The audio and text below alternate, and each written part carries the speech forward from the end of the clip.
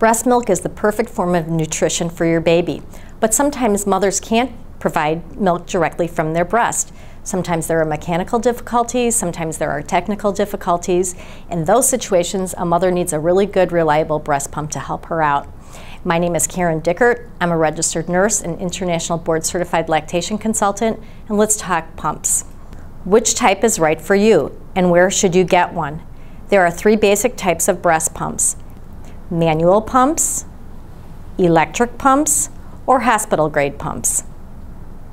The cost of these items range from 24 to $1,000. The electric hospital grade pumps are by far the best option for successful pumping, but are extremely expensive to purchase. Hence, renting a hospital grade pump is the most cost effective bang for your buck. They rent for about $75 a month and require a milk collection kit that retails for about $55. Now that you know what's available, where can you get one? Price is certainly a factor, but renting a hospital grade breast pump without receiving the proper instruction can be extremely frustrating and time consuming. Pharmacies, hospitals, and big box retailers all rent or sell pumps. We strongly recommend a hospital grade pump rented by a lactation consultant who will teach you the do's and don'ts and demonstrate how to use the pump properly.